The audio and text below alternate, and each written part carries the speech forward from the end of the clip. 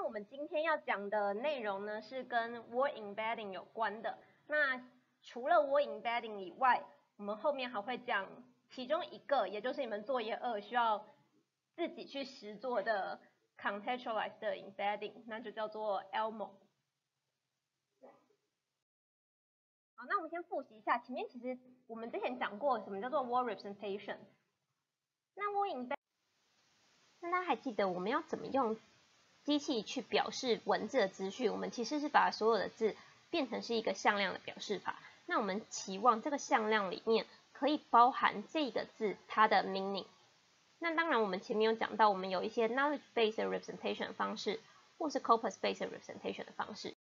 那 knowledge-based 方式其实都比较像是我有一个 linguistic 定义的 knowledge，我们直接在上面去找可能适合的表示 meaning 的方法。那如果是 corpus base 就其实是比较像是你有很多的 data，我们不需要 hire 一个 linguistic 来给我们这个 knowledge，我们希望能够从 data 中学到一些知识。那第一种叫做我们前面也提到，叫做非常简单的，我们会叫它 one-hot vector。那但是它的缺点就是，如果你把一个字用 dictionary 的方式来表示，它只有出现就到一，其他都是零。那你其实没有办法用这样子 one-hot representation 的方式去捕捉字跟字之间的关系。比如说 car 跟 motorcycle，我们因为它出现在不同维度上面，而且在向量的世界中，你每一个维度其实你的假设它是 orthogonal，也就是 independent，所以呢你就会找不到 car 跟 motorcycle 之间。借由这两个 vector，怎么样去评估它们两个之间的关系，其实是没有办法做到的。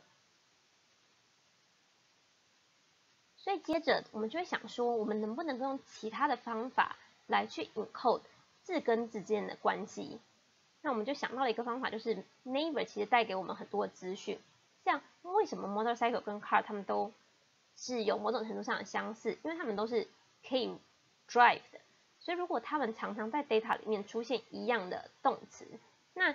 我就代表说他们有可能有一定程度的相似性。所以这里我们就会考虑用 neighbor 的方式来定义它的 vector。那最常见的是用一个 concurrence metric，在 data 里面，我们只要把每一个字跟其他任两个字一起出现的次数算出来，我们算出了这 concurrence metric，我们就可以用对应的任意一条 column 来表示这一个字它的 vector，所以你可以看到，如果这两个字彼此有相同 co-occurrence 那些字，它们之间这两个向量之间就会有相似的分数出来，你就很容易去 measure 出在同样 dimension 它们可能都有数值，所以它们其实是有一定程度的相似。可是当然在这样子的问，在这样子的 model 下面还是有一些问题，因为在这样子的 model 下面，你增加一个字，你可能就需要重新计算非常多的资讯，而且因为你的向量 dimension 还是一样是 vocabulary size，那里面会有非常多数值是零，非常多数值是零的情境下，你就在做很多 computation 的时候，它比比较难去 con contribute 到最后的 score 上面，所以它的 robustness 其实会比较差。那怎么办呢？最简单的方法就是我们直接去把它压成一个 low dimensional 的 vector。所以第一种方式就是我们可以做一个，比如说简单的 SVD，去让它分解成三个 metric，去趋近于原本的 x 刚刚那个 co-occurrence metric。所以当我们把后面的几个比较小的数值 delete 掉之后，我们留下来的这一个，我们希望它会跟原本的这 x 很接近，那我们就可以拿新的这一个 row 或 column。拿出来去对应我们每一个字它的 vector，那这边的这个长度就会变成是你自己取的 k 的长度而已。当然还是有一些问题，虽然我们可以看到它呃用这样的方式的确是有捕捉到一些 semantic 上面的 meaning 或者是 syntactic 上面的 meaning，但是这样子的效果还是没有办法解决。当我出现一个新字，我是不是整个 metric 要重算？而且因为你做了 SVD，所以你要重新在这个 metric 上面再重新做一次 SVD，你的 computation 的 cost 其实是非常高的。那怎么办呢？想法非常简单，我们就直接去学 low dimensional 的 word vector。那这也就是我们今天要讲的，就是直接去 embed word 到我想要的 space 上面。假设说我们有一个三百维的 space，那我们就希望直接在这 space 上面找一个点，这个点就是这个 word 对应的位置，也就是直接把 word 嵌入到这 space 上面，所以我们才会叫它 word embedding。第二个方式，上次我们讲过有两个非常有名的，就是基本上是一定要知道，虽然现在。嗯，就是它其实已经变成是在 NLP 上面的基础知识，就是 Word to Vec 跟 glove。好，那这两个其实就是直接去学 Word Representation，然后这个 Word Representation 是一个 Low Dimensional 的 Vector。那它会叫做 Word Embedding 的原因，之前其实有提过，是因为我们是希望直接在这个 Space 上面嵌入这个字，就比如说我们希望这个 Dimension 的数数量是三百维。那我们就是在一个三百维度的一个向量空呃一个空间中，直接去找一个点，然后希望能够找到这个点就代表这个 word，所以是直接把这个 word 嵌在这个 space 上面，所以我们才叫它 word embedding。所以大嗯很多 paper 它可能就会说 embed word into blah blah blah blah space。好，那前面也讲过，我觉得 word 嗯 word embedding 有一个最大的优点，就是因为你的这个 embedding 它其实是经过一个 network 认然后学出来的嘛，所以如果说你可以把它跟后面的你的 target task 的那个 neural net 接在一起，你的 information 是可以一起流到后面，也就是你整个模型包含 word embedding 跟你后面那个 task 的 network 都会是 neural network。那既然它们都是 neural network，你其实，在 update 你最后的那个 target 的 task 的那些参数的时候，你就可以让前面那些 word embedding 的那些参数也可以更新，也就是我们会叫它 fine tune word embedding。所以如果你拿一个已经 pretrain 好的，你当然可以固定这个 pretrain 的 weight，然后只劝你后面这个 task。那当然你也可以允许你的 weight embedding 它是可以根据你的 final test 来 fine tune 一下，所以就会长成这样子。就是你可以假设，如果我用 pretrained word embedding，而且不允许 fine tune 的话，黄色的部分其实就是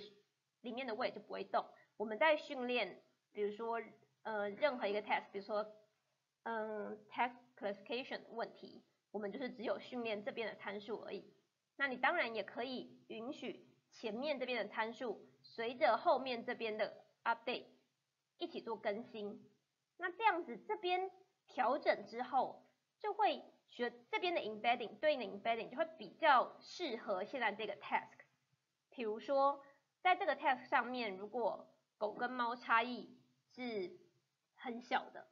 那它那它在这个经过 fine tune 之后，狗跟猫的 embedding 可能就会变得非常接近，就是比较接近一点，因为它们可能都是属于动物类。但如果这个 task 是很明确的狗跟猫是区分成很开的，那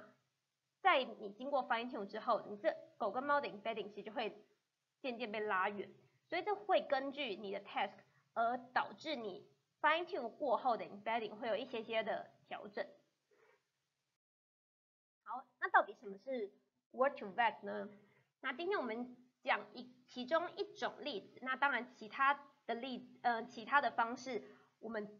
很容易就可以推广出来。那这个方式我们叫做 skip grid。那大家应该还会听到另外叫做那个，就是就是 skip grant 的另外一种，呃，应该是说另外有两种不同的 architecture。那 skip grant 是里面最呃 performance 稍微好一点点，另外还有 s i b o 或 link model。那大家后来都用 s k i p g r i p 比较多。好，那前面其实我们讲过了，它的目标，因为我们是想要利用它的 neighbor 嘛，所以说概念上就是我们希望能够根据一个 target word，然后它的 context window，然后去 predict 出它周围的那些字。言下之意就是说，你这边是一个 input 的句子，就是你在你的 document，呃，你的 corpus 里面其中一个句子，所以就是 W1 到 WT，然后我们如果说我们有一个很好的 vector 的 representation for wt 的话，那这个 vector 应该能够让我们去预测 wt 的这一些 neighbor。那这些 neighbor 的数量，我们就定一个 contact window，然后是再是 m，所以就是前面看 m 个人，后面看 n 个字。那我们把这个 wt 叫做 wi，也就是就是 internal 的意思，就是这个 target word。然后旁边的这些就是 outside 嘛，所以我们把它叫做 wo。这概念其实。很简单，它的 objective function 其实是在这里，它要 maximize 这一个几率。那你仔细看一下，这个几率是什么？这个几率就是 given target word 就是 wi，我看到周围这些字同时出现哦的几率，我要 maximize 这个几率，因为这里这一个。这一句话是在我们 data 里面有看到的嘛？所以当我们看到了非常非常多句话以后，我们就是一起 optimize，同样我们会得到非常多类似长这样子的几率，然后每一个字都会被当成 wi 来看待。所以当我们 optimize 所有的这个几率，那就等于是我们希望我们的模型学到怎么去建构出我们现在看到这一个 corpus。再说一次哦，就是我们希望模型学到，哎，字跟字之间的关系到底是什么呢？所以我们就从一个现成的 corpus，然后借由现成 corpus 里面 target word 跟它 context word 的关系，然后去 maximize 我们现在已知的这个 observation。所以呢，希望当我们学出来这个 model 以后，它可以让这个几率最大嘛？这样会让这个几率最大的话，代表它就是学到了。wi 以及它的那些 context word 之间的关系。好，那这个几率怎么算呢？这边它很简单，就把它 formulate 成看到 given wi，然后看到其中一个 wo 的几率，然后所所有的几率相乘起来。那 C 的话就是它所有的 context word。所以说，如果我现在 optimize 这一个呃 probability 的话，其实你就等于是在 optimize 这一个。你仔细看，呃，不同的点，呃，它多了一个 wi summation wi，那前面就只是去 log 嘛，然后就把它把相乘变成相加。那它多加上这个 wi dimension over wi，因为每一个字是不是都要当成 target word 来看待？因为我们不可能在整个 data 里面，我们只选定一个 target word，然后去 optimize，这样就结束了。我们是希望这个模型可以学到所有的字跟它的 neighbor 之间关系，所以每一个人都需要被当成 wi 来看待。所以呢，我最后需要 summation over 所有 wi，也就是你这个模型它。目标要 optimize 的这一个这个 objective 其实是考虑所有可能的 target word。那这边这一个怎么去 formulate 呢？这边这个我们会把它写成这样子，你猛一看会觉得很不直觉，其实它非常的简单。你仔细想想看，我们这这一章节的目标是不是我们想要把每一个字变成一个向量，对吧？所以说，wi 跟 wo 都会有一个向量，那这个是我们希望模型可以学出来的。好，那我们先不管模型怎么学到的，我们就把 wi 的向量用 vwi 来表示，wo 的向量用 vwo 来表示，就你就先这样想。所以呢，这个就代表是 wi 的向量，这个就是 wo 的向量。好，那这个数值怎么算呢？这个数值是是 given wi 看到 wo 的几率。那我希望它可以变成从我们学出来这个向量来嘛。上面是什么？上面就是 wi 跟 wo 的那个的 similarity dot product。那这边有个 prom，我之后会解释。那你可以先不用管它。对，这个 prom 其实是因为你当 target word 跟你当 context word，它的 vector 其实是有一些差异的。那你先不用想那么多，你就把它想成是，反正 wo 有一个向量，wi 也是一个向量，然后它们之间斗起来，我们希望这是它们有点像是一起出现的的分数。那既然它是一个 conditional probability，我们下面是不是要除上所有可能 w 呃 given wi 看到其他所有可能的字的几率总和？所以下面这个是什么？下面其实就是 wj，wj 是任何一个 wj，然后这边就是 wi 会跟任何一个字一起出现的分数嘛，然后你把它加总起来，所以下面其实你是要除掉，你这样才会变成条件几率，这边应该没有什么问题吧？好，所以我们的目标就是希望能够学出对应的这个。向量对应 wi 跟对应 wo 的向量，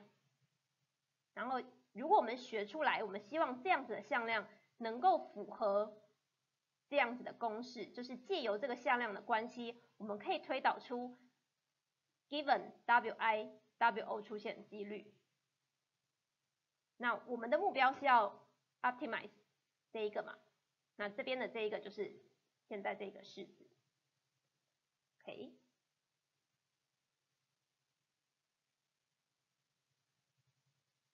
那用这个方式，它有一个很大的好处，就是你比较你传统不是用 word embedding 的这种呃 word representation，有一个很大的好处，因为你现在在 optimize 的方式其实是用 neural network，而且你是嗯，比如说你用 mini batch 的方式，所以你有一个新的句子，如果你现在收集到一个新的句子进去，那你是不是就变成是？哎，我这边只是多了一些这一个你的 objective function 里面只多了几项你要去做 update，所以你很容易的去整合新的句子或者是新的 document。那传统的那一种建一个 concurrence metric，你如果多了一个新的句子，你是不是整个 metric 的那个 c o c u r r e n c e 的那个 frequency 就要重算了？所以这个方式有一些跟传统方式有一些不太一样。那因为它的学习方式就是完全不同的，所以它会有一些比较容易 extend 的好处。好，那它到底怎么做的呢？这个其实是它 model 的长相，其实非常的简单，它就是只有中间就是一层的 hidden layer，然后最右边就是它的 output layer。好，那这个模型到底在做什么？要记得记得我们的目标就是这个模型它的 objective 是希望 given target word 我可以预测出它的 context word，然后是在一个 context window 下面的嘛。好，所以呢，它的 input 会是什么？就是这个 tar target word 嘛。所以假设说这个 target word，嗯，假设说你的 vocabulary 里面总共有一万个字。所以你一开始的这个向量就会是一个一万维的向量。那这边一是什么呢？这边其实就是一个 one top vector，就是你现在出现这个 target word 是它的 vector 是在这个 dictionary 里面的第几维。所以如果是这嗯，比如说这边是一的话，就代表它其实是出现在第八第八个字，对。那这是一个非常非常长的向量，这边就是有一万维。所以这边的 size v，就是 vocabulary size。好，那 given target word，我们希望它能够 predict 出它的 surrounding word 嘛。所以你最右边想要 predict 的东西是什么？最右边想要 predict 东西就是，比如说第第一第一个 node 它的 output 对应的就会是第一个字，你的 dictionary 里面第一个字。会是现在 target word contact 的几率。言下之意就是说，你看哦，最后这一维呃这一个 output 的维度是不是也是一万维？代表 given 这个 target word，我希望能够告诉你说，所有的这一万个字会跟它一起出现几率是多少？所以呢，每一个呃每一个维度，它对应的其实就是一个几率值，然后这个几率值会是现在这一个，比如说第一个字是 abandon，它在永远大家大家还记得以前背字典的时候，你一定都会第一个就看到 abandon，所以 abandon 都会背得非常熟，然后后来后面的就忘记了，所以第一个字就是 abandon 在字典里面。那这个字跟你这个 target word，这个 target word 是 ends，所以写写的有点小，对，那它跟它一起出现几率是多少？你希望 output 在第一维，那第二维就是第二个字会跟你的 target word 一起出现几率。那为什么我们会说我们的目标是要 given target word 可以 predict 出它的 context word 呢？因为我们的目标是不是就是希望你的 context word，比如说它的 context word 有这个字跟最后这个字好了，随便。那我们就会希望最后你的 output 是这两维是一，其他都是零。OK，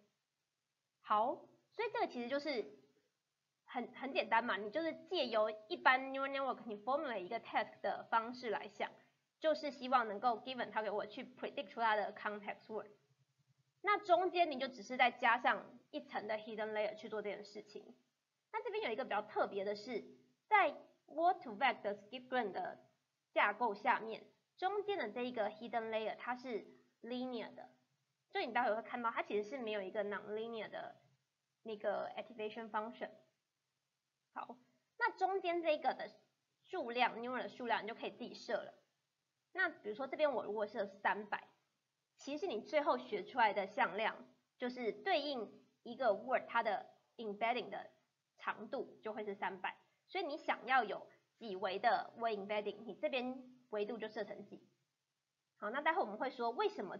这个维度就会等于 word embedding 的维度。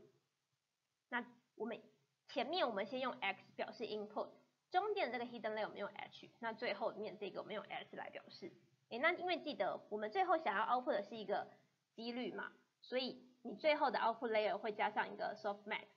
去让它总和为一，然后每一个数值都是零到一之间的小数，那这是它的 formulation。好，那为什么这样子学完，我们就可以得到 win embedding 了？在这一个，嗯，在这个架构下面，有两个东西你是要 learn 的，很简单嘛，因为第一个就是从一开始的这个 one half vector 转成是这三。嗯，三三百维的这个向量，所以你其实就是一个 linear transformation，就是乘上一个 weight metric，那这个 metric 的 size 就是一万乘三百，OK，那后面这个是什么？后面这个也没什么不同的，就是现在只是从三百然后再变成一万，所以后面这个 metric 它是三百乘一万，然后我们就用 w prime 来表示。前面是 w，后面是 w prime，那这两个位是没有关系的哦，就是是不同的，虽然我都用 w 来表示，所以我才会有 prime。好，那我们先来看刚刚左边的那一那一个，左边的那一个就是从一开始进来的 target，嗯，target word one half vector 转成中间那三百维向量，所以。这一个 metric 它就是一个一万乘三百的嘛，那我们会我们叫它，嗯，因为它它就是刚刚 hidden layer 的那个 weight metric，那我们会把它当成是我们最后的 weight embedding。重新讲一次，意思就是说，我们希望我们的模型学出来之后，我们会把第一个那个 weight metric 拿出来，然后把它当成是我们的 weight embedding。怎么做呢？你看呢，这边其实是你刚刚那个 hidden layer 的 weight metric 所学出来的那个长相。那为什么它会长这样呢？因为它其实是一个一万乘三百嘛，所以你这边其实是有一万个字，对不对？那这边其实就是一个一万维的。然后如果你把它切成横的来看，你会变成是有一万个三百维的 feature，原本是长这样的对，然后你把它切成横的来看，你这边就会等于是左边，嗯，你每一个 row 就会对应的像是一个字，那每一个字就会对应有三百维的 feature。那刚刚是不是说这边这个 n 是你可以自己设定的？所以你这边 n 如果设定五百的话，你这边的 feature 的 size 其实是五百。为什么这一个我们可以把它拿来当成 word vector 的来用呢？你再仔细想想看哦，这边这个 weight 是不是前面乘上这个 weight 的东西，它是一个 one hot target word？所以说，在我们的模型这边，这边是刚刚看到这个，这个东西是我们会把它拿来当成 word embedding 的 vector。那为什么它可以被当成 word embedding vector 呢？因为当你做第一层的相乘的时候，就是你把你一开始的 x 乘上这个 w，是不是你会得到中得得到中间这个 hidden hidden layer 的是这个位置的 vector，然后叫做 h 嘛，x 是一开始的 input。那做这个相乘，其实你看哦，这边这个是一个 one hot 嘛，然后你把这一个一一万维的 one hot 去乘上这个对应的这个 w，其实就像是从这一个 matrix 里面挑选。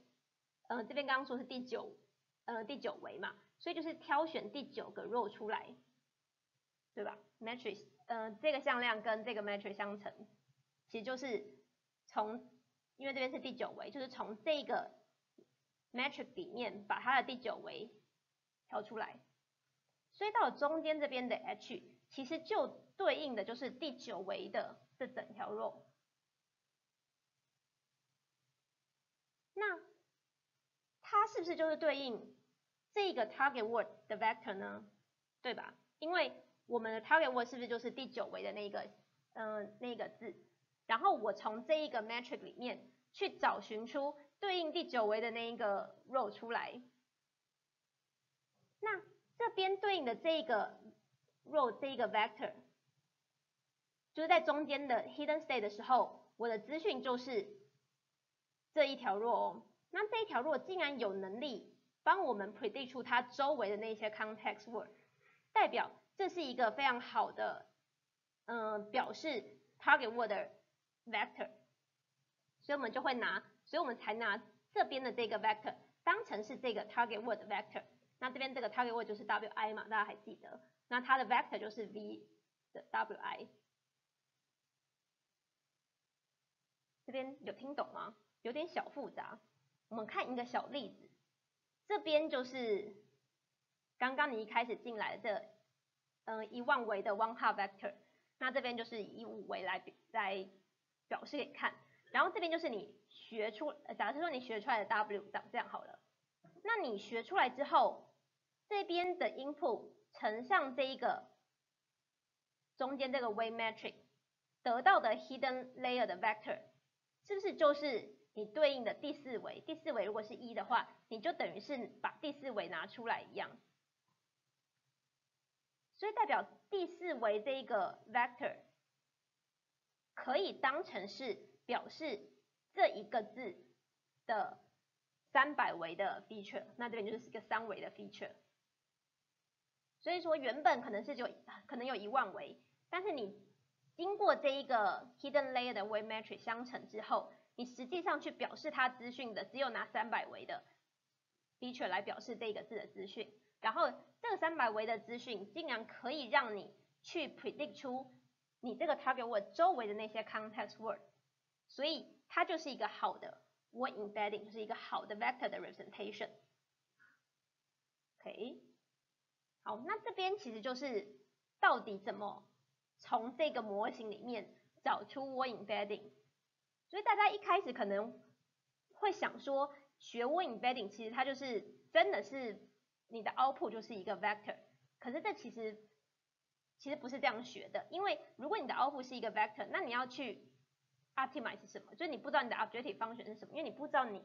希望的这个 vector 会长什么样子，所以其实是你有一个目标，你的目标是希望能够 predict 你周围的那些 context，然后借由你训练好的模型。中间的这个 hidden layer 有能力来表示你 target word 的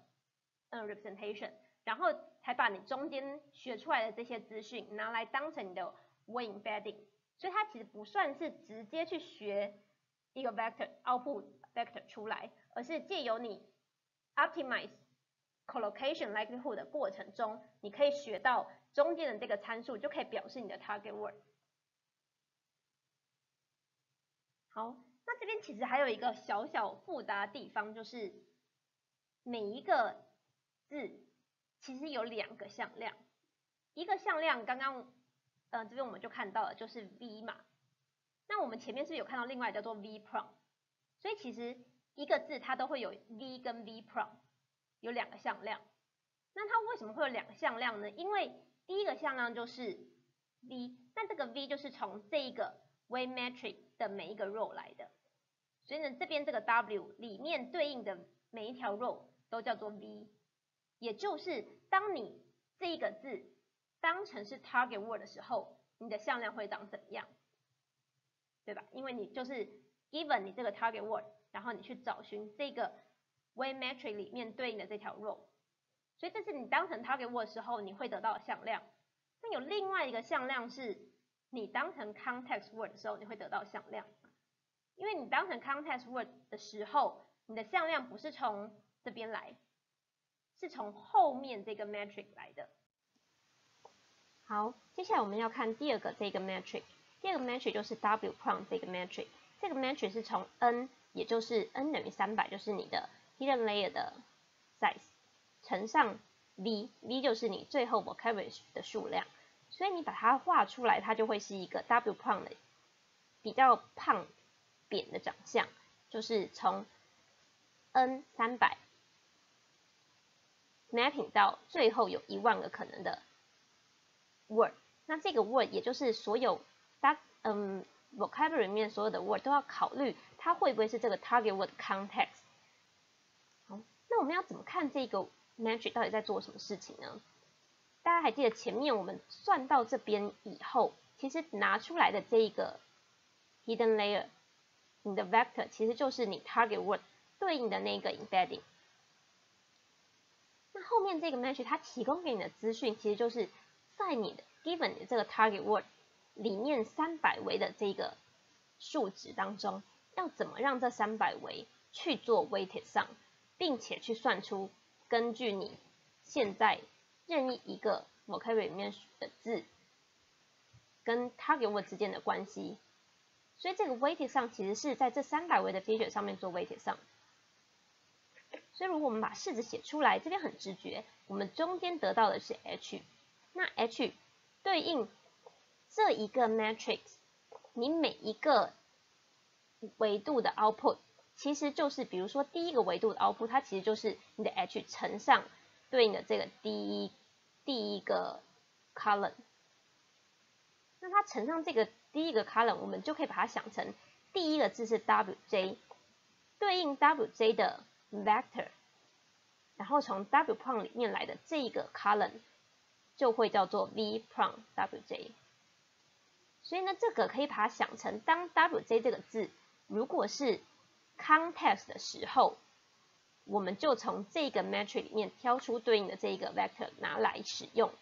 那它们相乘其实就是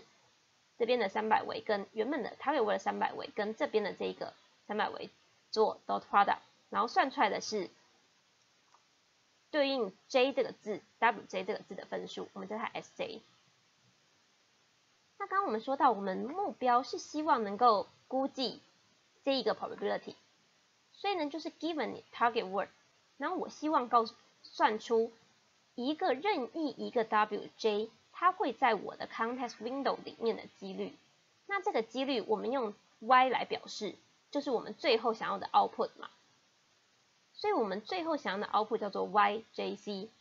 那这个数值怎么算呢？因为我们是不是把它用几率的条件几率的方式来表示？所以我们借由刚刚算出来这一个 score s，并且做 normalization，我们就可以得到这一个。probability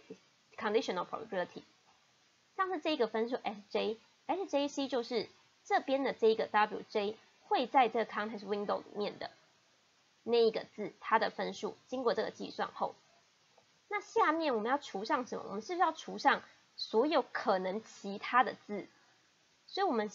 这是它 context window 里面的其中一个字，我们需要把其他 vocabulary 里面所有的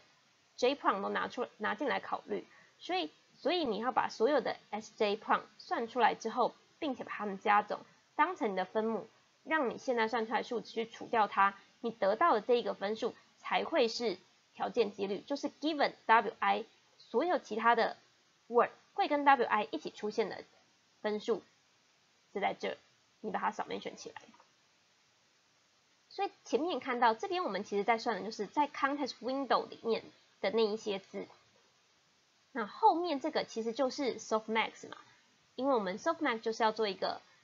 exponential 的 normalization。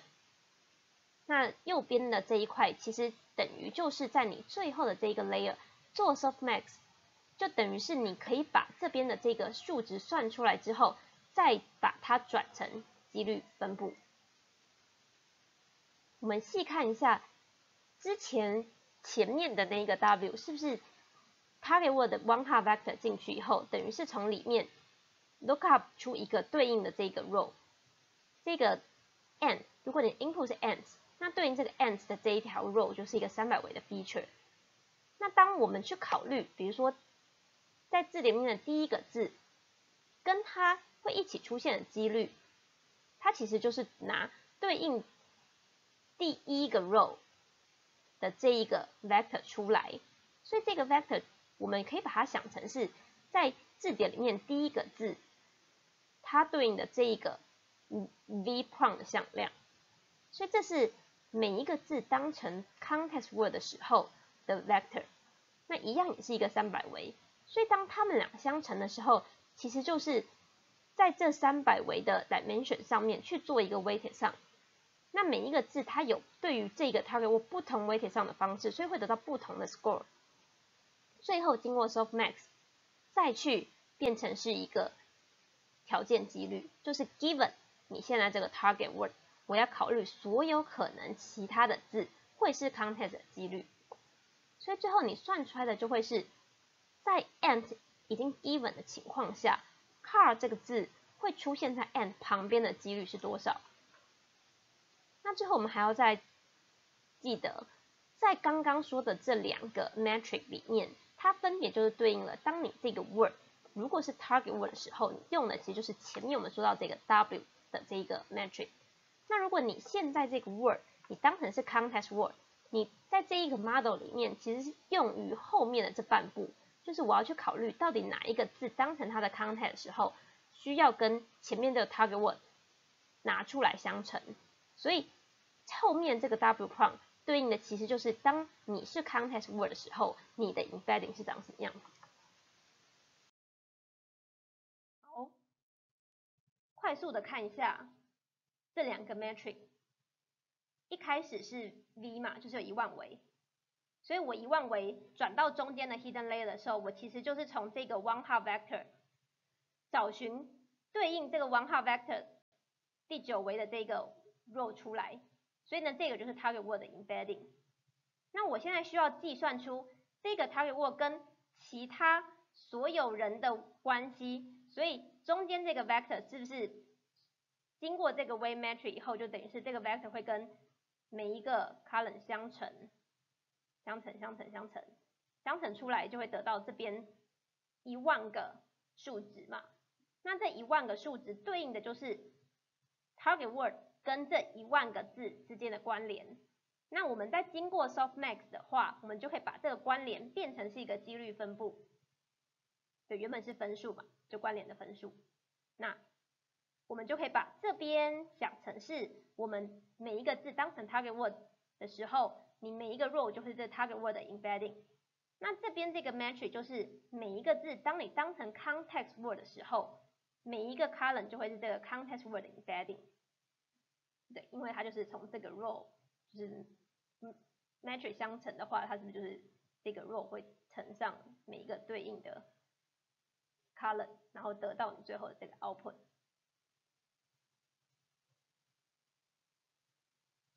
所以前面这边其实就是 wi，也就是 v_wi，这边就是 wj，就是当成 target word，呃，当成 context word 的时候，就是 wo。所以你算出来的，你拿出来的这一个跟这一个，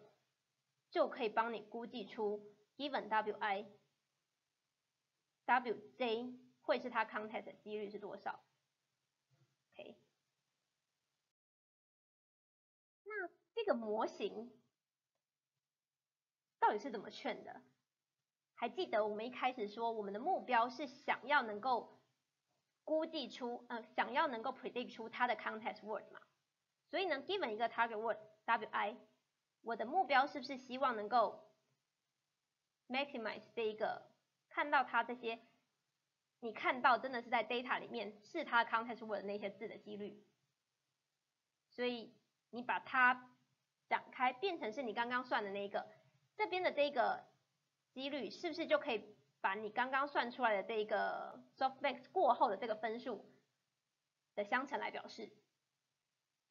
然后这边的这个 C 就是所有可能的 context 嘛，就如果你的 context 是有五个字，那这边 C 就是每一个 context 都要相乘相乘，所以就是乘五次。那下面都是除上全部的，那就是稍微化简一下，大概就是大概长相是长这样子。那当然，大家还记得我们做模型的。我们在训练模型里面的参数的时候，就是用 SGD 的方式来来 update 嘛，所以你可以把刚刚的那个东西去做一下偏微分，就是因为我们现在是希望把里面的每一个 W 的 parameter 都算出来，所以你其实就把刚刚那个 C，然后对里面的每一个 W，然后去做偏微分，然后你可以这边就可以自己 go through 一下，很简单。那这边。嗯，有一个概念是，哦，这边是因为连因为链锁率，所以会变成这两个。那这一块就可以再稍微简化成这样子。那我们简单的讲一下这一个物理意义就好。它的意义是说，W，嗯，Y 是，嗯，Y 是我们的目标嘛。那我们这边会减掉一个 T 这个数值。那这个 T 的意思就是说，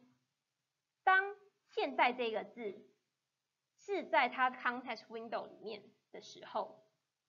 这个值就会等于一，其他另其他的情况就会等于零。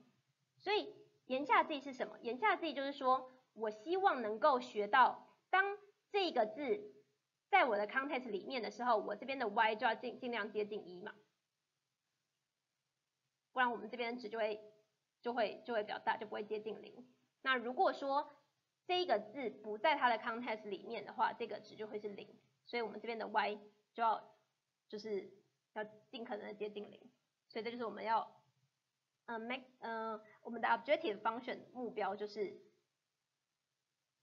就是在 optimize 这个位的时候，其实就是根据现在这个字有没有出现在我的 context 里面，然后去做 update。其实也非常符合直觉。对吧？因为我们就是希望能够借由它的 context，然后来学我们这个模型。所以当这个字出现在我的 context 里面，它这边就会有 loss，然后就可以 propagate 回去。那它不如果不在我的 context 里面的话，那这边就零嘛。那我们就希望是 neighbor 的那一些字，他们给我一些嗯 information，告诉我说现在我这边 weight 应该要增加，让这边的几率可以越越大越好。然后这边你你你在 optimize 的过程中，你就会让你希望能够变大这些数值，可以 output 出比较高的几率。那这就是因为我希望它能够有能力去估计我的 neighbor 那些字。对，那这边的这一个相减之间的关系，是不是其实就是 error？因为当我们希望我们希望它靠近 t 嘛，所以当 w j 是在我们 context window 里面的时候，它会是一，所以我们希望这边的这个 y 也会尽量接近一，所以它们相减之之间的关系其实就是你的 error。那这个 error 可以拿回去去 update 你的模型里面的所有参数。那这边是就是跟前面一样，就是 h 是嗯 sj 是怎么算出来的？就是 h 乘上它对应的那个。当 content word 的那一个 vector 嘛，所以你就可以呃稍微算一下。那在 update 过程中，我们把它展开来，其实结结论就是长这样子。不过这不过这你也不用背起来了，你就大概看一下，稍微有了解就行了。就是在 t t 第 t 个 iteration 到 t 加 iteration 的时候，我们是叫 iterative 的 update。那它 update 的过程是不是我就是要减掉 e t 的这一个偏微分的内容？所以这个偏微分内容最后算出来会是这样。所以就在这里。那你仔细看一下概念是不是就是所有在它 context window 里面的那一些字都会给它一些 error。那这个 error 会乘上你的 h，然后去让它 update 这一个字它的 w，会影响这个字的 w。所以就是只有在你你你的 context window 里面的那一些字，才嗯才会对你的模型的这个 parameter 有影响。那刚刚我们 update 的是后面的这一个嘛？那前面的这一个 w 呢？前面这个 w 我们要除呃，我们要偏微分的对象就是不是 w prime 就是 w 嘛，那我们一样会经过验锁率，因为它要先对 h 做偏微分，h 再对 w 做偏微分，因为中间会经过 h 嘛，所以我们就把这两个各自展开，那 h h 就会变成先对 s 做偏微分，s 再对 h，没错吧？因为 c 是在最后嘛。所以你对 h 做偏微分的话，最右边是不是会经过 s？所以你要先一样是圈弱，先对 s 做偏微分，然后再对 h。但是这边有一个很麻烦的地方，就是当你对 s 做偏微分的时候，因为这边 s 的数值有几个，是不是有一万个？就是所有的 vocabulary 嘛。所以你这边需要把所有的 j 等于一到 vocabulary size 全部 summation 起来，就是你需要对所有可能的 s 去做偏微分。然后 s 再去对你的 hi 去做偏微分，所以这边的 sj 是任何一个可能的，嗯，vocabulary 可能的的 word 哦。好，那这边跟刚刚一样，就是 s 是怎么算出来的，就长这样了。所以后面这个东西其实跟前面一页的是一样的。所以这一页多了什么？这一页多的东西就是中间这一个要 dimension over 所有的 v。刚刚是不是只需要考虑 context 就好？但现在如果你要 update 这一块的话，你除了考虑 context 以外，你还要考虑所有的 v，因为每一个人每一个呃每一个 word 在 vocabulary 里面的所有的 word 都会在这边有所贡献，所以你要进对它进行偏微分的时候，你需要对每一个都先偏微分一次之后，然后再传过来，所以这边必须要 summation over 所有的 j，那解出来就会长这样子。所以你看一下刚刚有一点点的不同的地方，就是嗯后面这边当然是有点不不一样嘛，因为刚刚是 h，那现在是 w prime，然后会再乘上 x，那因为那是因为那是因为它前面对应的这个向量是不同的。但是更大的差别就是这边有一个 v，刚刚说的全部要算一次，就是 x 是任何一个字的时候，你都要把它计算出来，所以呢，你才可以把所有的这这边的这一个 weight 算出来，然后去加总起来，得到现在这一个要 update 的对象。那为什么呢？你看呢，我这边在 update 这一个参数的时候，为什么我除了考虑这一个字它对应的那一些 context 以外，这边是对应的那些 context 嘛？就是 i w i 对应的那些 context，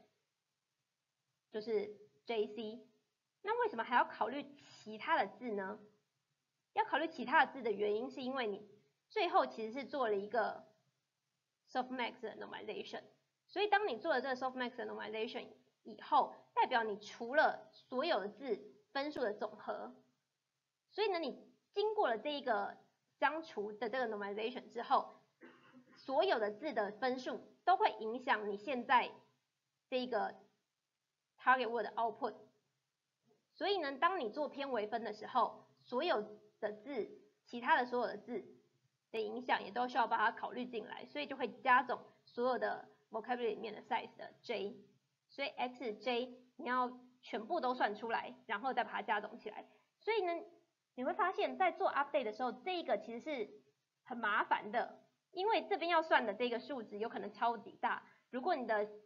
vocabulary size 是好几万的话，你这边就好几万个数字要算。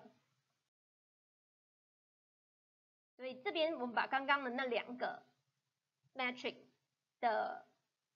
嗯 SGD 的过程，就是再重新把它写出来一次。这边没没做任何事情，只是把它列出来，然后稍微把它弄得好看一点点。对，那上面这个这边是 vprom，vprom 就是右边那个 metric，它的 update 过程只跟 ei 有关。那 ei 其实就是这个 wj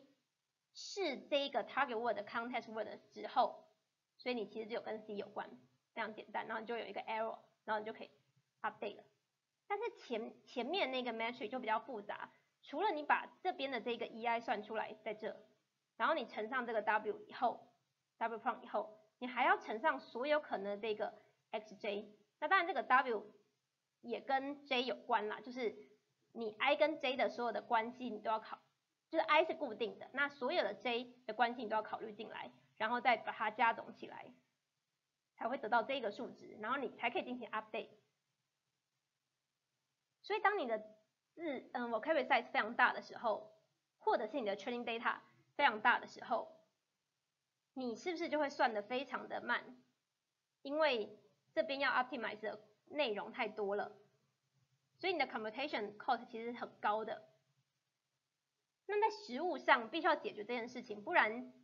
你算个我 embedding，你可能就花了非常非常非常久的时间，然后可能还不一定可以跑得完。那在实物上有一些小技巧来来改善，嗯，这边 vocal size 非常大的问题。那有很多方法，比如说你可以假设我每一次不要只不要每一次都 update 所有的。所有的向量，我只允许每一次 training 的时候只 update 部分的。那这里有两个稍微比较有名，其实主要比较有名就是 sampling 啦，就是 negative sampling。那前面在前期也还算是蛮多人会用，叫做 hierarchical softmax。但现在其实已经没有人在特别，就大家就直接 negative sampling 就好。那 hierarchical softmax 的方式其实是，因为我现在我刚刚是叫 update 所有的。所有的数值，那我现在不要让它一次把所有的数值都 update，那这样子可能会非常的慢。我一次就是只顾要限制它可以进行更改的这些几率。那它的概念就是，假如说我原本可能有 v 个，那我现在把它建出一个树状结构，所以我只需要我只要我必须要限制，我只能计算在这个 node 呃 leaf 呃。head 到这个 leaf 上面的这个 path 的这些几率就好，然后就可以从你原本的，嗯，你原本的 computation cost 原本是要 big O n，然后下降到 log n，因为你现在原本是有 n 个要算，那你现在就硬是强迫它只只能 update 就是 n 个，那你这样子的 cost 会稍微降低一点点，或者。就是现在，其实我是已经非常非常少看到人在用了，所以呢，还是讲这个比较实际一点，就是 negative sampling。那在大家现在就这是一个非常非常简单而且有效的方法。那它的概念就是，刚刚我们是不是说，原本我们做最后 output 的 normalization 的时候，我是不是要除上所有的人的总和？因为这才是一个合理的 normalization 嘛，就是。全部的总和要等于一，所以我必须要除除以所有人的总和。但是现在我做 negative sampling，意思就是说我不要除上所有人的总和，我只除上 sample 出来那些人的总和。也就是说，我刚在 update 的过程是，我的 loss function 前面后面的这个东西，后面这个东西所有的 wj 是任何一个 vocabulary 里面的。字我都要把它算出来，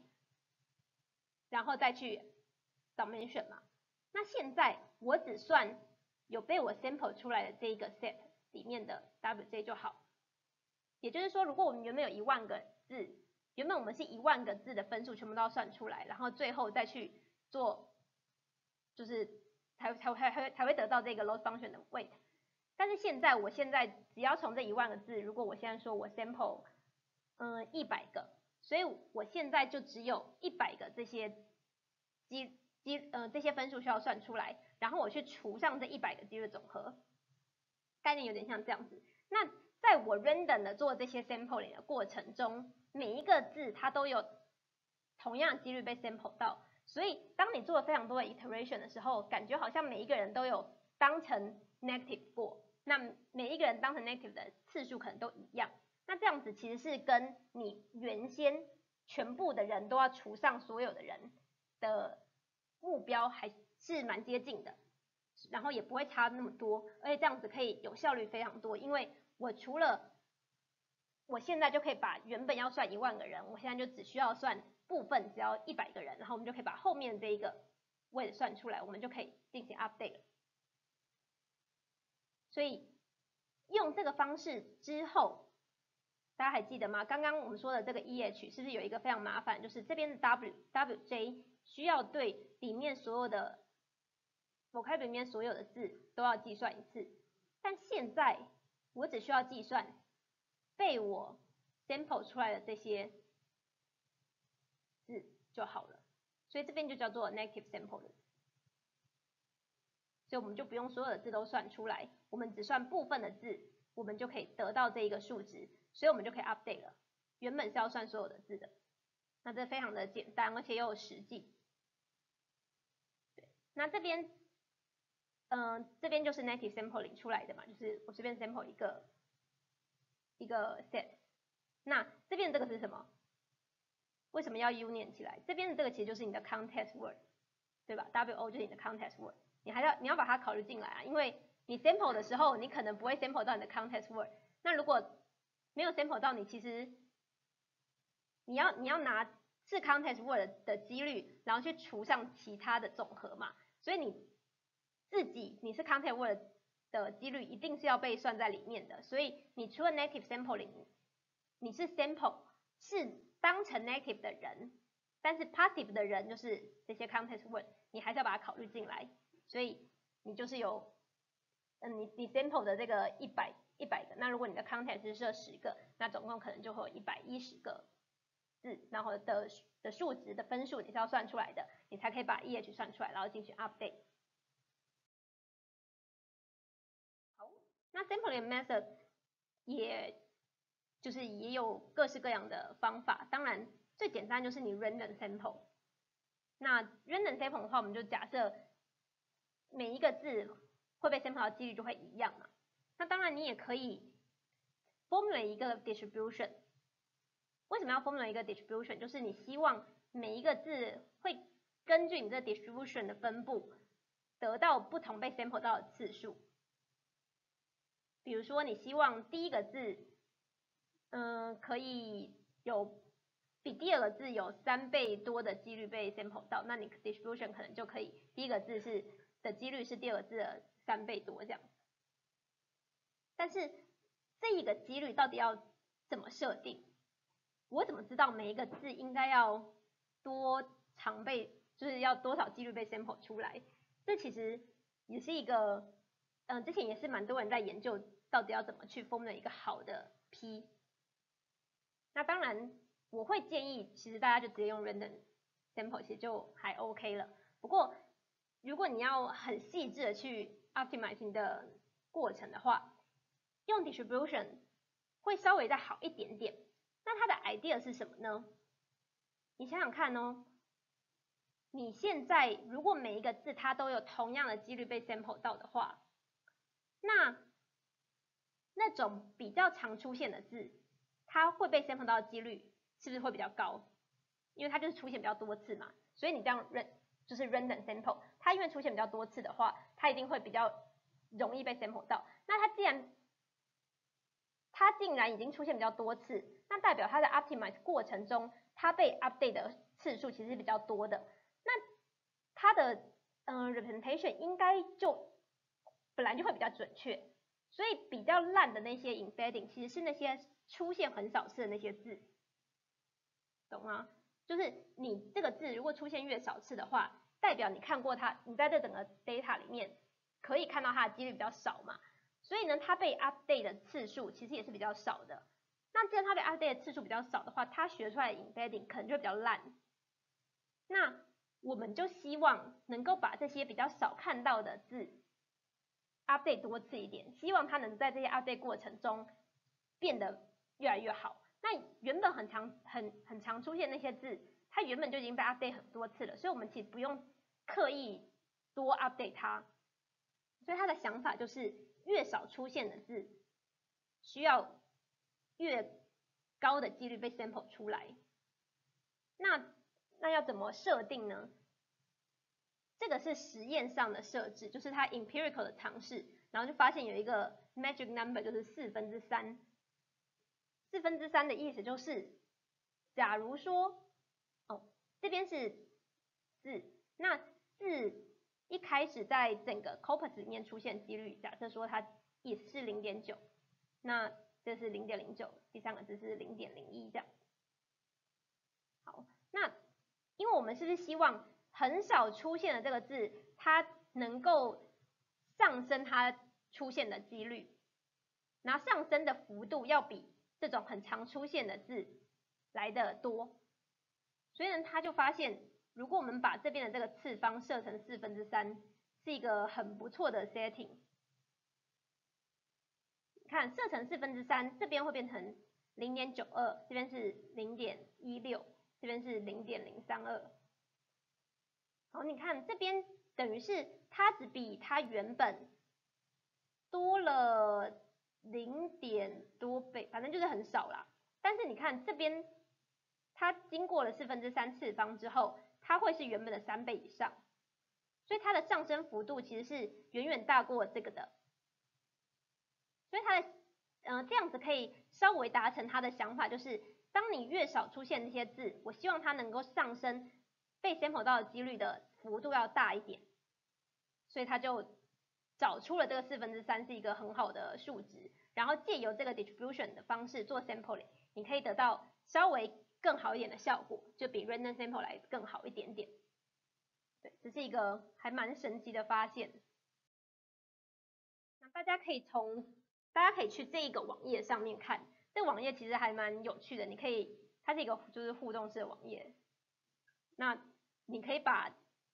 你可以自己写一些 training data 把它丢进去。那它其实就是长这样子，他会跟你讲说，哎，这边是 target word，然后他要 optimize 它的 context word 嘛，就是可能会有 drink apple juice 啊等等的字，所以 drink 跟 juice 可能都是 apple 的 context word，对，然后就类似这样子，然后它会，你你当你把你的 training data 输进去之后，它就会，你可以 iterative 的看到它 update 的过程，就红色是 weight 会越来越高。所以就可以看到，哎，它其实是有渐渐的 update，然后让真的是它 context word 的那些字几率可以越来越高。那这边就是 skipgram 的架构嘛，大家还记得，given target word 要 predict 出它的 context word。那它当然有些变形，一开始说了一个叫做 sible，sible 的意思是 continu continuous 的 backword，它其实概念。就是相反过来，那它的概念就是跟平常做呃 backward 比较像，就是 given 它的 context，然后我想 predict 它的 target。那另外就是 linked model，就是有顺序的，given 前一个字，我要 predict 它的后一个字。所以我们今天会讲 skipgram 是因为它在 performance 上面其实有进行比较，然后它是稍微有好一点点，它比较好。那 linked model 其实是第一个被嗯。就是 m i k l o v 他在他的他之前做 language model，他在他博士论文中做 language model 之后，他就发现，哎，他学完这个 language model，他用 RNN 来做，中间这一些 representation 可以账号表示这个字之间的关系，字跟字之间的关系，所以他其实是因为 language model 这样子的 objective，然后得到每一个字的 vector 的表示法，然后才有了这样子的想法，然后去做出这两个模型。所以你如果是这两个的话，你可以试试看要怎么推刚刚的那些有点小麻烦的那个归点。那 Siebel 的话，illustration 就像这样子，根据你的 context word，然后你想要 predict 你的 target word，所以你的 context word 可能就是也有，比如说 apple juice 啊，所以 apple 是你的 target，然后它的 context 有 juice 这样，那 drink apple juice 嘛，drink 就是另外另外一个 context word，那一样是 update 过程中，是它它给的这个字的几率就会越高，就越接近红色，那其他的分数就会下降。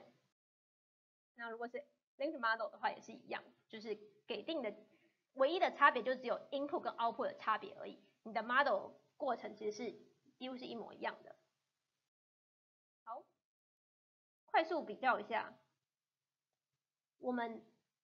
讲过以前的，嗯，就是 concurrence metric 表示的方法，它其实是用有点像是 count base 的，就是我要算说。A 跟 B 它们之间出现一起出现的次数是多少，然后建一个那 metric，然后再来进行可能再进行 dimension reduction 等等。那如果是 direct 就是我们直接学的话，我们其实会用 NN 的方式，就直接我们有我们的 target objective，然后我们直接经过一个 network，然后中间学出来这些向量，你的 hidden hidden hidden layer 的这些 vector，我们就可以把它拿出来当成是我们。得到的这个 vector representation 就是我们 target vector representation，他们的想法其实是不太一样的。对，那 conbase 它有一些好处，比如说，嗯，training 可能很快，因为你只要把它算出来就可以了嘛。然后它是用一个统计上面的的概念来去做来去做推算的，但是你直接用 learn 的方式，其实你并没有使用任何统计的资讯，你其实只只是希望，哎。我能够找出一个 vector，然后这个 vector 可以有某一些性质，但这些性质其实你并没有引入统计的概念到里面。但是如果 count base 当然是刚前面我们已经讲过很多缺点，就是可能字跟字之间的关系不一定那么容易的被捕捉起来，而且如果你要放进新的句子，可能会比较麻烦。那这也就是 embedding 的好处，那它可以。捕捉我跟我之间的关系，可能是比较复杂的关系，它可以借由 big data 里面字跟字间它们 context 的这些 collocation 的关系，然后来得到。不过它也是有一些缺点，因为有的时候它，嗯，当你 data 比较小的时候，你用统计上面的数值其实是会比较有用的。那如果是你 data 非常大的话，你用这样子，嗯，network learning 的方式可能才会比较好。所以，它当你没有努嗯没有直接的去使用统计上面的性质，有的时候并不是嗯就在不同的 scenario 上面可能并不是最最佳的情形，所以他们彼此其实是有点互补的。那我们后面就会讲说，另外一个 model 叫 Glow，它的目标就是想要把这两个 count base 跟 embedding 这两个概念结合，然后可以有稍微更好一点的效果。接着我们要讲第二个 word embedding 的方法，那它叫做 globe。那这边其实很短，它的概念很简单。刚说了，它的概念其实想要综合 word embedding 直接学习的这些概念和统计的一些 property。所以它有一个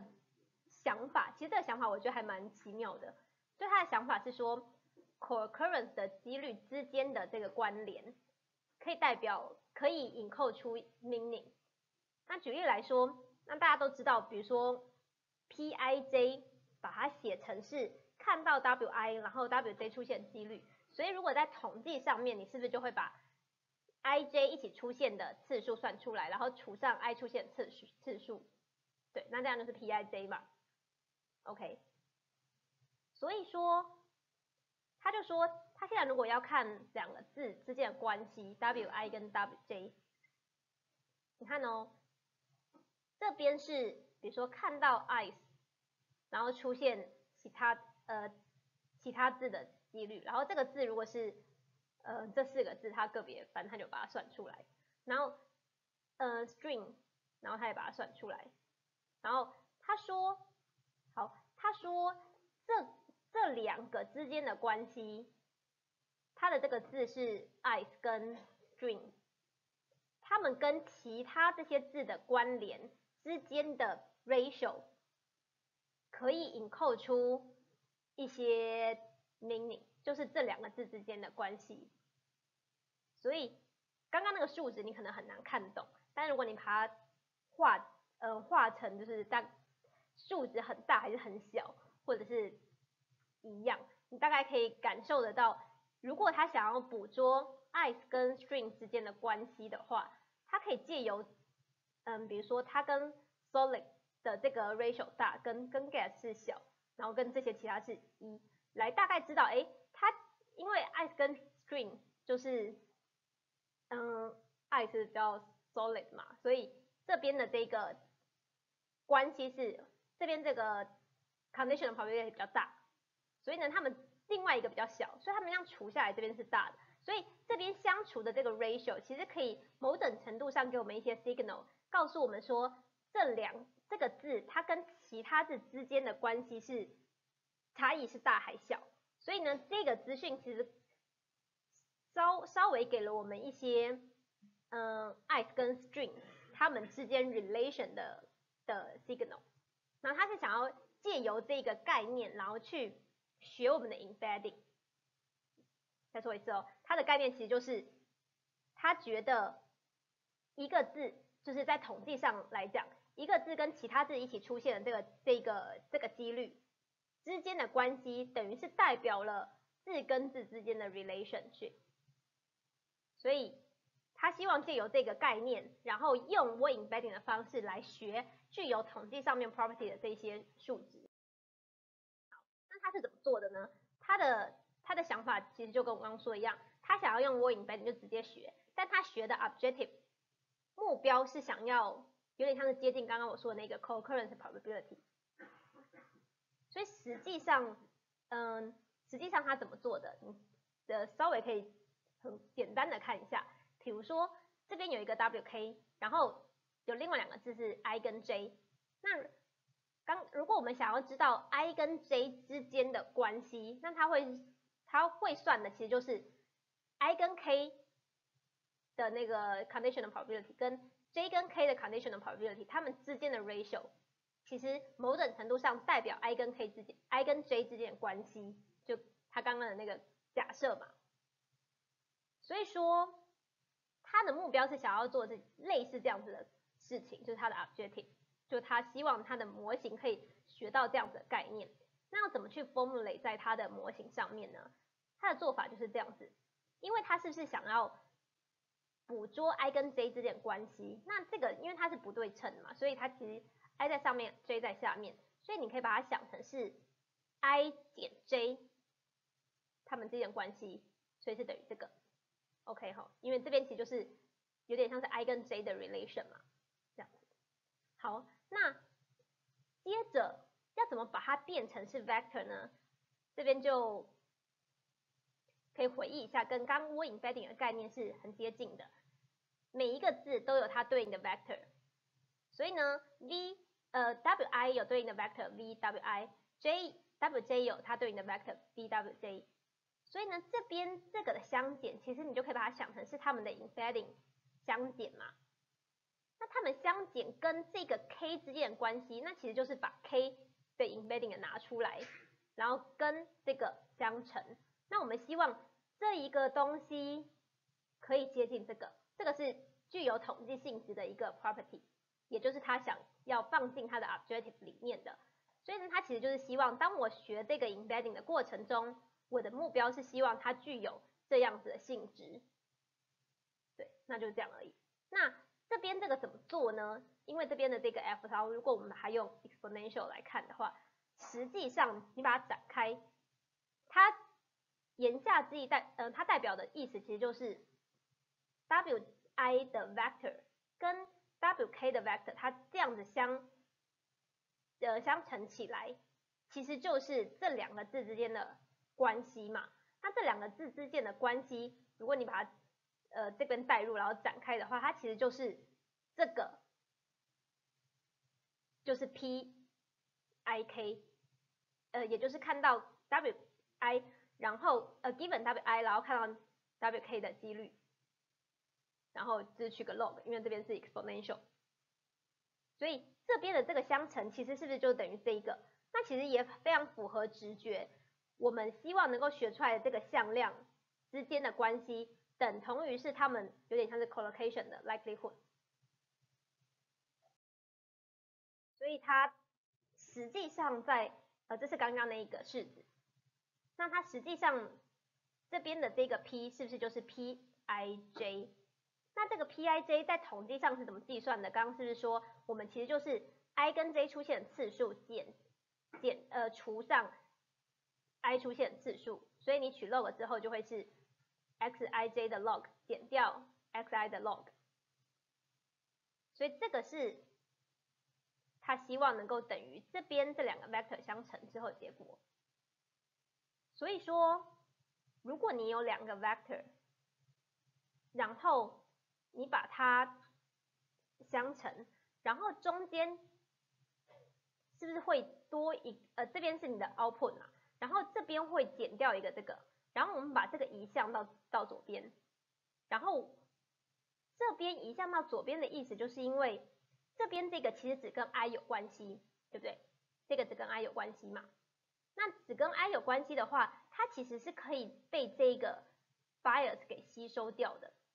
意思就是说，当你在学这个 vector 的时候，你也可以允许它去，呃，向量之间相乘，然后会有一个多出来的 bias，那这个 bias 去 cover 这边多出来的这一个这个 turn，然后让右边只留下 i 跟 j 之间关系就好。所以如果这样做的话，你其实你的 objective function 就是这边这一个。减掉这一个，你希望它越小越好，对不对？因为你希望这个可以接近它嘛。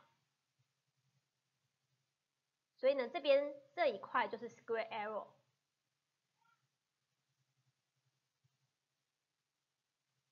然后每一个字都要当 i，也要也都要当 j，所以里面所有的 i j 都需要从一到。vocabulary 里面 size 所有字都要考虑一遍，然后这边是 p 嘛，这边是 x，所以当你把 p 换成 x 之后，你得到的其实就是长这样子。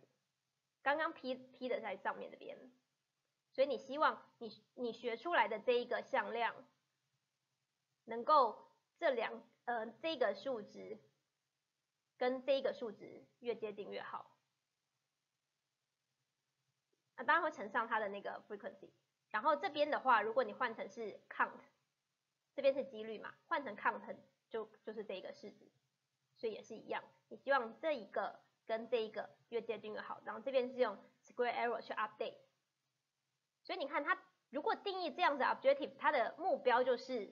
我希望我学出来的这个 embedding 之间相乘之后，它能够具有统计上的这个性质，就是。嗯，i 它们之间的 relation 可以变成是，嗯，x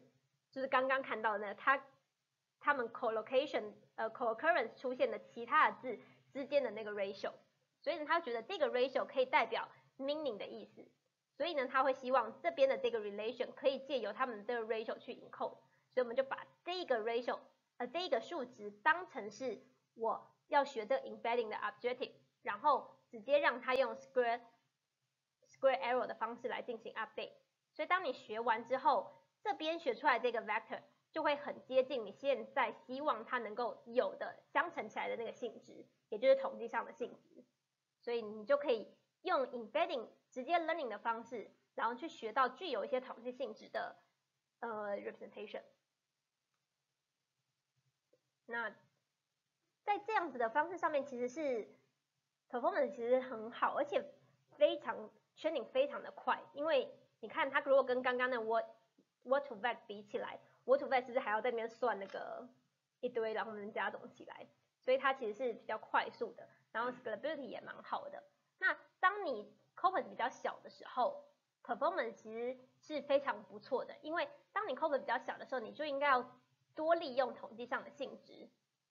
那当你 corpus 很大的时候，其实你用 word to vec，不考虑任何统计上的性质，你直接看 data 之间的关系，其实就会比较好。所以呢，当你资料量比较小的时候，我觉得比较建议你可以可以直接使用 Flow。那当你有呃非常大的 data，你可以 train 好的 word embedding 的时候，你就可以用 skipgram 这种方式。所以它们之间的 focus 不太一样。那要怎么？后面我们就来看到怎么比较 word vector 它们之间，呃，你学出来 word vector 到底好不好？因为我们可能只看到，哎，每个字都是一个向量，那要怎么去评估这个向量到底好还不好？其实很难嘛。所以有两种做法，一种叫做 intrinsic 的 evaluation，那它的意思就是说，我们就看字跟字之间的这个 linear 的 relation，比如说 A 比 B 在字这 A A word 比 B word 会等于 C word 比什么哪一个 word 吗？如果我们有好的 vector representation，我们是不是就可以找出哎对应的这一个 x 到底对不对？比如说，我们可以哎这这边看起来非常复杂，其实完全非常其实完全非常简单，其实就是这个减这个，然后加上这个而已。对，然后你去找一个最接近的向量向量出来。所以你可以发现，比如说这其实是一个经典例子，man 跟 woman 之间的关系会跟 uncle 跟 aunt 很接近。所以说，如果我跟你讲说，man 比 woman 会等于 uncle 比什么，那你是不是就要在这个位置找一个向量，然后看这个向量对应的字是什么，然后看它跟答案是不是一样的？对，那其实就是如果你有好的 embedding，我们 suppose 他们之间的关系可以这么完美，就是从男性到女性这样子的那个 vector 的那个方向都是一非常接近一致的。但是这会有一些小问题，就是有的时候，如果你学出来这个关系啊，不一定是 linear 的，如果不是 linear 的话，你是不是就不能直接这样子找到对应的这个类比关系了？那是，就是所以用这个方式的确不能够完全能够呈现你的 embedding 好不好？但这只是一个可以呃稍微折中的呈现方式，因为你其实要 evaluate 一个。向量到底学的好不好？这很，这没有一个很好的方式。那用这个类比的这个问题，其实其中一种还已经算还不错的方法了。对，那刚刚的那个，呃，这边还有一些例子，比如说这个例子是 semantic 的关系，像 Chicago 跟 Illinois，它是 city 跟 state 关系。那你看到右边也是 city 跟 state 关系，可是。如果说有一些 city，它其实是不同 c，它是在不同 state 里面的 city，可是它有的时候会有相同的名字。如果是这个情况的话，就会很麻烦，因为你不知道它到底是这这个名字到底属于哪一个 state，所以的确在这个问题上面，用这样子 evaluation 的方式，可能也不一定非常的好。所以当然很多 evaluation 都会有一些问题，那也不是说大家提出来 evaluation 都已经是正确的。那右边你可以看到一些例子，就是 capital 跟 country 之间关系，但是 capital 有可能是改变的，会改更改的。如果你某一天呃某一年突然换了 capital，难道这边的前面这些 embedding 的关系要怎么怎么做？就所以这其实也是用直接用这种类比，它没有办法考虑这些动态改更改的这些问题。那除了 semantic 之间的关系，syntactic 之间的关系，你其实也可以。来借由 word embedding 来捕捉他们的 relation，比如说，嗯，形容词跟就是就是那个最高最高级的那个关系，他们也会很接近，对，然后或者是分词啊跟过去式他们之间关系也会很接近。另外一种 intrinsic evaluation，呃，intrinsic 意思其实就是我直接去 evaluate 这个 embedding 怎么样。所以像刚刚那个，我就直接去 evaluate embedding 之间的关系到底好不好。所以我其实是针对这个 embedding 本身直接去评估。那另外一个方式就是 word cor 呃 correlation。那它的做法其实就是这样子，我先叫一些人来标注字跟字之间的关系。然后我就看机器学出来这些 vector 跟人标出来的这个分数，他们之间的 correlation 到底高不高？如果高的话，代表哎你学出来的好像还不错，跟人觉得的是差不多的。那如果差很大的话，可能就是你学的烂烂的，对，概念有点像是这样子。所以，比如说，就找了一堆人，然后去标说，你觉得 tiger 跟 cat 之间的关系一到十分，你给一个分数，然后他把大家的分数做一个平均，比如说他 cat 跟 tiger 他可能是七点，最后平均起来是七分左右。那 tiger 跟 tiger 就就十分嘛，这比较没有什么争议。那 computer 跟 internet 啊等等，那这边也会有一些问题，比如说 professor 跟 doctor，如果你的 doctor 你是把它想成是医生的话，那关系可能就是还好。那如果你的 doctor 你把它想成是博士的话，感觉关系又会就比较高了。所以这其实也牵扯到一些，而且也会有一些主观的意识，跟你对这个字的理解到底是理解在哪一个程度上面，然后去让你做这个 label 所以因为人的这一个分数常常也不是那么的稳定，所以这其实也是做这个 evaluation 的一个一个小问题。那这件事情当然是非常困难，没错。对，因为有的时候同样的字可能有同义字，像 doctor 有两个意思，或者是当你把它 consider 是不同词性的时候，你可能也会有不同的结果。那可能有些人觉得是词性 A，另外人觉得是词性 B，那他们标出来的分数就会差异很大。那这样子要怎么去让它有一致性呢？其实是非常困难的。那就是为什么，嗯，其有很多人也会做 intrinsic evaluation，因为刚刚是我直接评估这个 vector 到底关系怎么样嘛。那如果说我们不管他们这个关系怎么样，我们要 w o r embedding 干嘛？我们要 w o r embedding 就是希望它能够来帮助我们最终想要做那个 task 嘛。所以如果我们拿一个比较好的 embedding，我们希望它在最终的 task 上面 performance 也会比较好。所以我们就从我们就用这个 task 它最后 performance 有没有提升，然后来看我们这个 embedding 有没有变好。那这样子就是一个比较间接的方式，不是那么直接去看 embedding 本身，因为有可能 embedding 变好，但它可能对于这个 test 没帮助。那它在这个 test 的 performance 上面可能就不会提升，那不一定代表你 embedding 其实是没有变好的。对，那这边这个概念就是借由后面那一个 downstream task 来来来看它的 performance 的差异。那嗯，如果用这样做的好处的话，它其实是，嗯，如果它有进步的话，有可能是你这个 embedding 提供给你一些基本的概念，让你在这个 test 上面，你一看就知道字跟字之间的关系。比如说，你在这个 test 上面，你可能 training data 里面并没有告诉你说猫跟狗可能都属于动物，那你 data 可能只有猫，那你没有你没有狗相关的资讯，所以你在 testing 的时候有可能出现狗，你就会错掉。但是如果我 embedding 可以提供给你一些 information，让你知道说，哎，我跟猫跟狗其实非常接近，那你就有可能在 testing，就算没有看过狗，你 performance 也可以有有所提升。那这个 embedding 如果学得更好的话，那的确是有可能让你的 performance 上升更多。对，那另外一个好处就是有可能可以把一些 task 的资讯借用到另外一个 task 上面。比如说，你如果是要做，嗯，想不到什么例子，它这边的例子是什么？哦，就是如果你现在的，嗯，你现在学出来的 word embedding 是具有，因为有它有字根之间关系嘛。比如说，你知道 good 跟嗯 excellent 可能是稍微比较接近一点点，那或者是 great 就比较接近，那，嗯，它就它就会告告诉你说，这边其实是一个 positive 的 information。所以它可以帮助你最后做 sentiment analysis 的结果。那在 word embedding 其实就这样讲完了。那刚刚刚讲到这些 evaluation，当然都不是完美的，可是我们，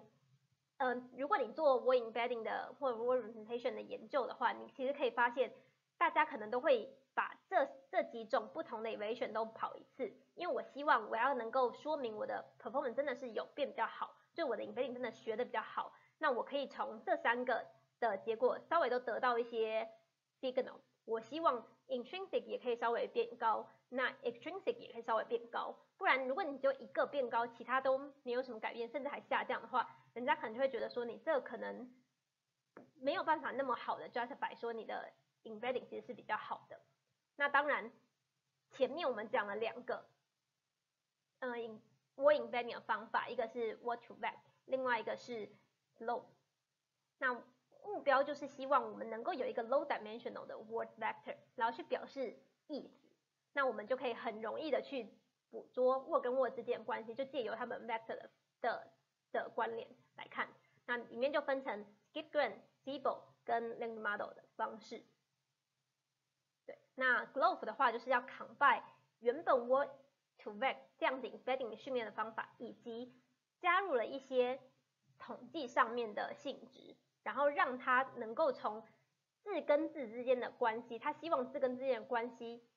算出来的这个呃相相乘起来的结果，就会等于它 co co-occurrence 的那个几率的 ratio，所以就他他相信几率的 ratio 在统计上面能够表达一些 meaning，那这个资讯应该要直接被引扣在字跟字间 vector 相乘之间之后的结果上面。那当然，evaluation 刚刚就说了两种，intrinsic 跟 extrinsic。intrinsic 就分成用 word analogy 跟 word correlation 这两种，那就是直接去评估 embedding 到底好不好。那另外一个就是根据你把现在训练好的 word embedding 拿来使用在其他的 task 上面，看看这个 task 上 The performance 有没有进步。有的话呢，我们就也相信这个 win betting 会变比较好。